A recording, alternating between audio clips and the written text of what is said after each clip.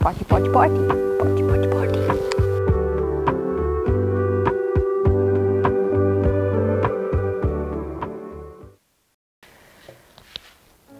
Forgive me friends, for I have sinned.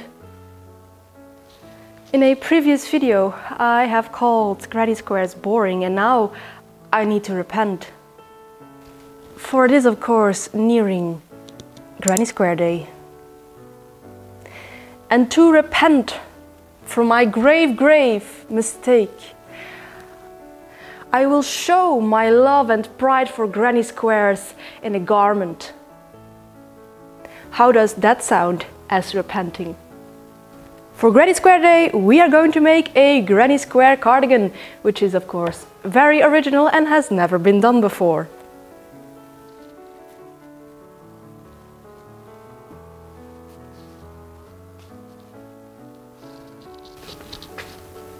Maybe you should come closer and help me pick the colors. So right now I am thinking white. This is the one I spun on the heritage site. Whatever I have left over of the walnut dyed yarns when I made uh, my farmer's hat. This happy yellow yarn that I initially intended to make more of, but eventually didn't. And then I've got all these small purple skeins, which I think will make a nice contrast. Is that enough?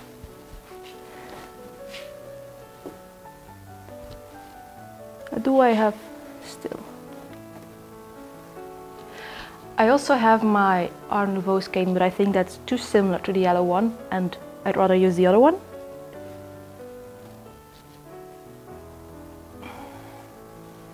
And black would be too much of a contrast. So I think, I think we've got our colors. Thank you for helping me.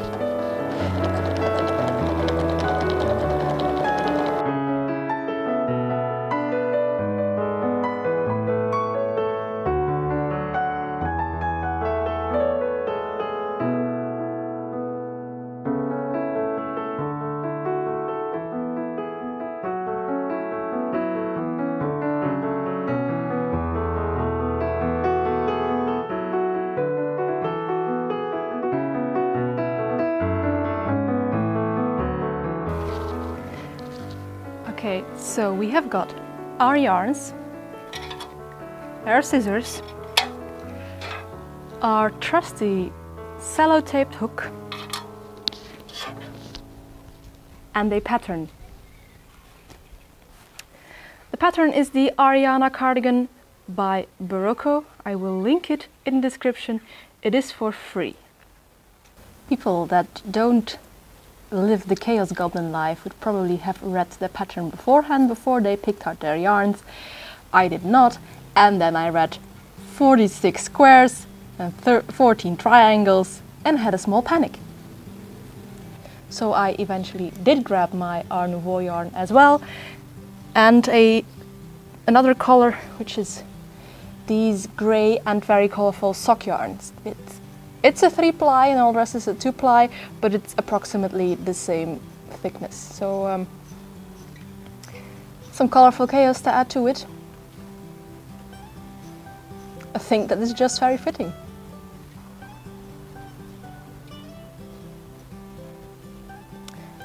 So here is our first square and I must admit, it's not boring. I also wouldn't call it very pretty either, but I think because there is so much color changes in the yarn, this is going to be a project where it is just trust the process and then look at the end product because the colors together will make it special, I think. But what it also is, is too big. The pattern asks for a five rounds granny square that is 14 centimeters in diagonal and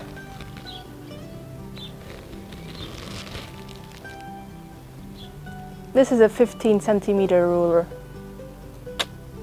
Yeah, I have going to go with four round squares, I think. which I don't know, it uh, kind of alleviates my panic of not having enough yarn to finish this.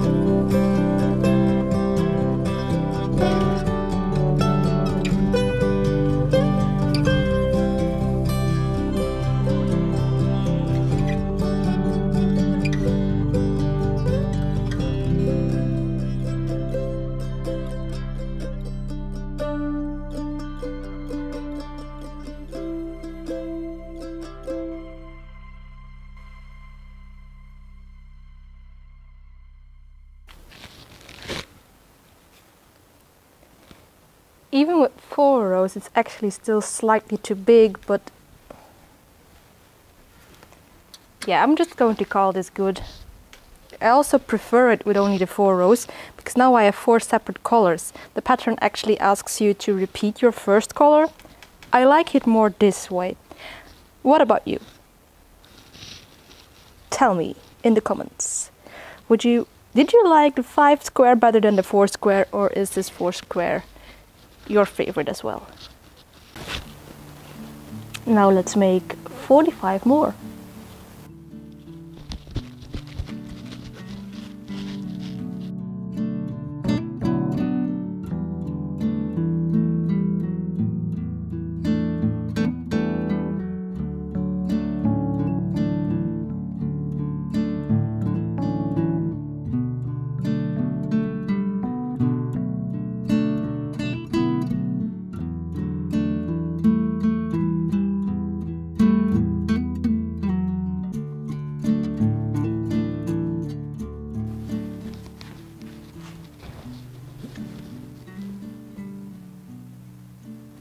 As I wasn't 100% assured that I had enough yarn,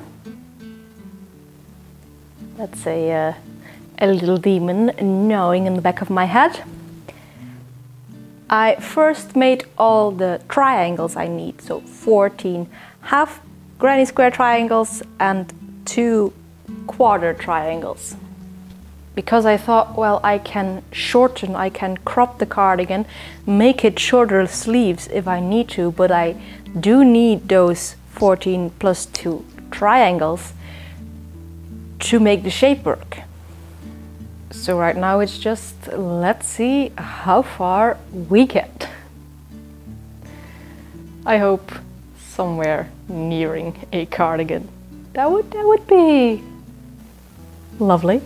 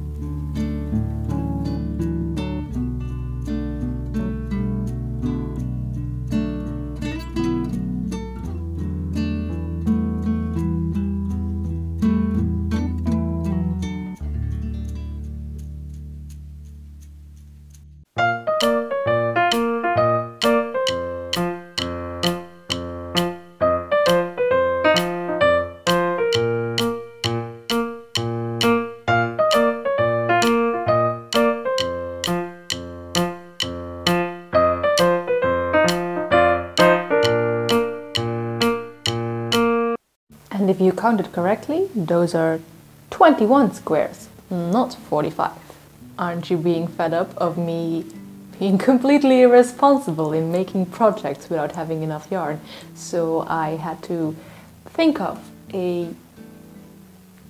solution to be more frugal with the yarn that I still have, and that is that I flip the colors around. So the next 50% of the squares will be this one and then we'll make a checkerboard pattern and if you're hearing that in the background, that's my oven. I need to take my food out right now.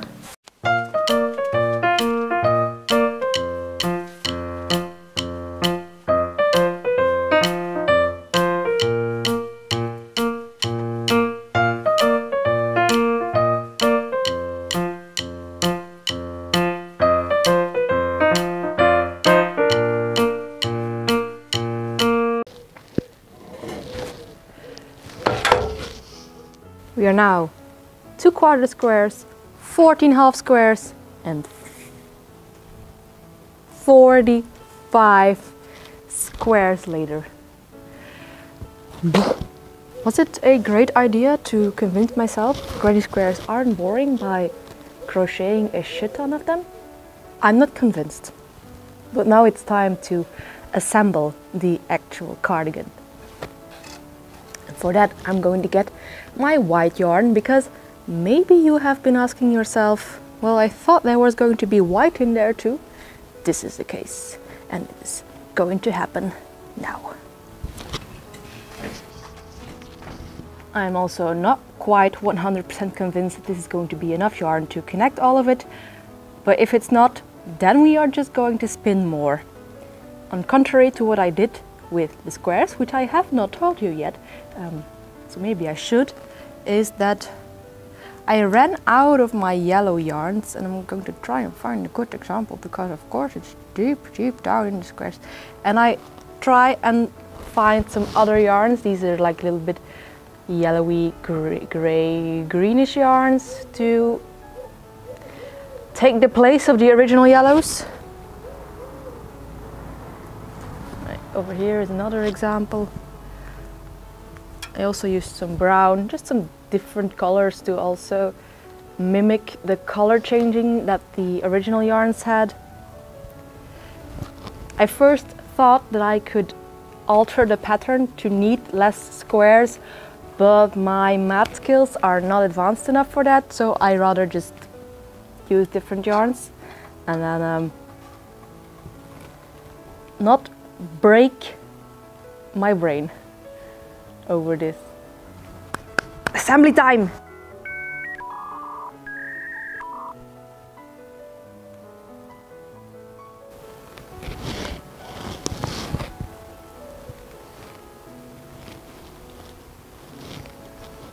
It's like we're making a row of bunting. Happy little flags. Party, party, party.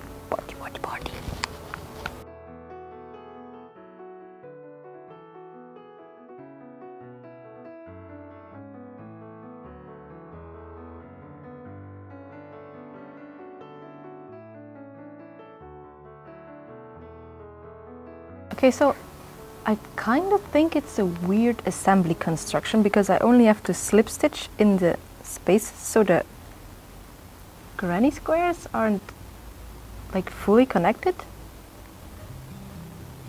I'm just going to continue. Maybe I have to stitch them up close later, but this is know, kind of weird. So at this point I have connected three rows of squares and triangles and we can get a good look at the inverted square checkerboard pattern that it is creating. Yeah, I am digging this. So sometimes my chaos goblin ways subconsciously, inherently make me do hacking creative stuff that I probably love more than the original idea. This is looking so grandma chic, vintage, whimsical. Mm. Speaking of whimsical, how do I get this Let's get whimsical, whimsical. out of my head? It's been two months. So as expected, the white didn't last the entire project, but we are having something slightly cardigan shaped already. So that was actually more than I expected. So the only thing that I can do to remedy this is to comb and spin some more of this white Flemish sheep. Now, it is disgustingly hot outside, so um, I am going to move all my stuff to do just that inside.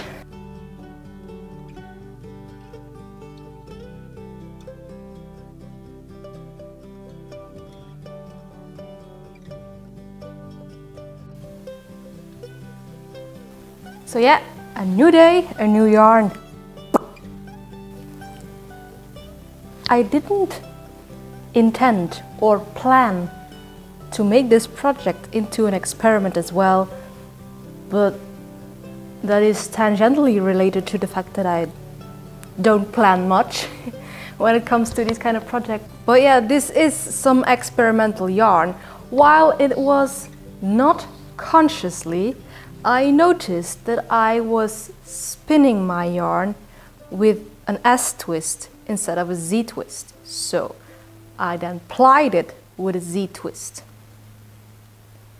While all my other yarns are exactly the other way around, so spun with a Z twist, so clockwise, and plied with a S twist counterclockwise. Now, while I was crocheting and actually also mostly when I'm knitting, I do notice that my yarn untwists itself. I don't know if there is any visual evidence to support this, but if there is, you will see it right now. And since I subconsciously or unconsciously started spinning the wrong direction, I thought it was quite neat to check out whether or not the direction of my yarn has any influence on my crocheting and uh, maybe eventually also my knitting because if you want to describe my knitting style disrespectfully, it would be crochet with two pointy sticks. More information on that in this corner. So let's finish our project and compare the stitches. I don't know what has gotten into my camera at this point, but um, woof, yeah, um, the twist direction of my yarn is making all the difference.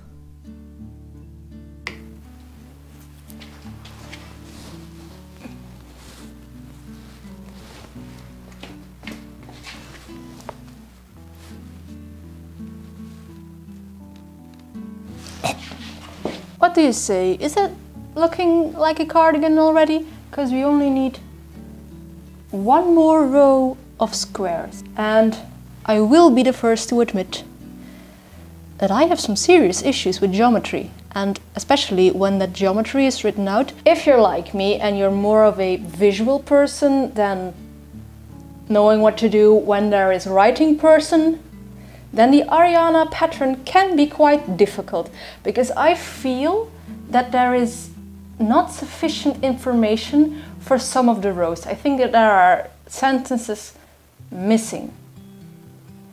Like sometimes they say attach one side of the triangle to square, I don't know, 44.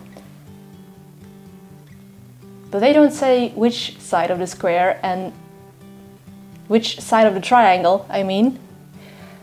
And the sides of the triangle are not equal. So I once in a while just flopped my work on here and checked whether it matched up with the drawing on the pattern, like two pages lower. That of course is also a problem I created by not printing my pattern but just going off my cell phone screen. If you want to recreate this also with a checkerboard pattern, you need 22 of one color and 24 of the other. I only had 23 of the purple ones. For some reason unbeknownst to myself.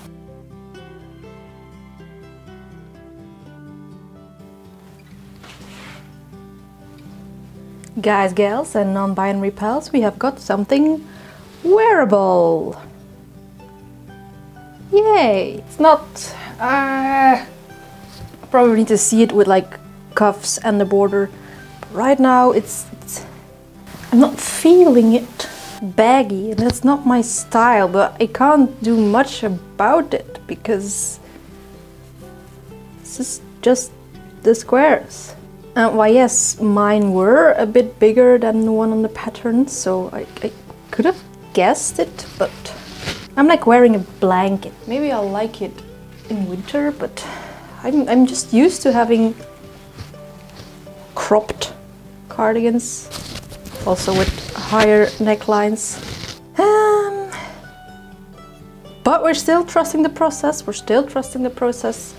We'll see how this looks when it is actually done. A quick interjection to tell you that yes, the yarn spun in the opposite direction than I usually do also makes a really big difference when knitting. So yay!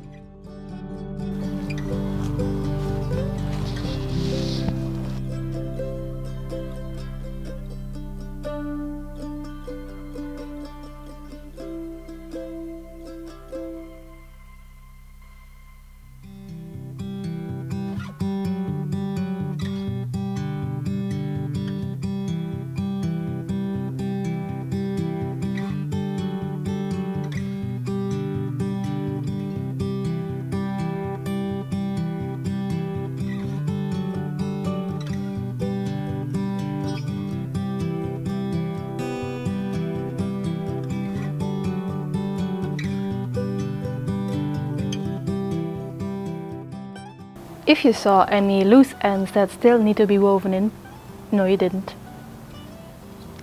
So yeah, basically forget all that I have said about this project previously. I am so cozy. It is of course way oversized, way too big. Yes, I should have gone with a hook size smaller, but I didn't. I am living with the consequences and for now I am digging the consequences. I feel like your bohemian aunt, your art gallery and your curtains of your camper van and I mean that's a vibe I, I am going for it, I'm digging this. Now also because when I knit the hem, the waistband, it kind of wants to do this. It flops on the inside instead of being full length, which is for comparison purposes like this. Now this is also a grandma look, but not the deranged grandma that I'm going for. So we're going to go back to, yeah, boo. It is also just a truth universally acknowledged that handspun garments are pure and utter magic. Not convinced? Then maybe you should make some yourself. It was also quite interesting, quite nice to get back into a little bit of crochet also with last week's video with the festival accessories. I have been only knitting for years now and with that little side quest and this main quest which I did get done in time for Granny Square Day so yeah check deadlines. I think it was quite nice to go back to my gateway drug into the fiber arts but I think I will leave it there for a moment and go back to the knitting for my next couple of videos, I guess. If you like these kind of fiber shenanigans, then maybe you could like, comment or subscribe. But of course, that is all up to you. And as for me, I will see you in a next video. Bye!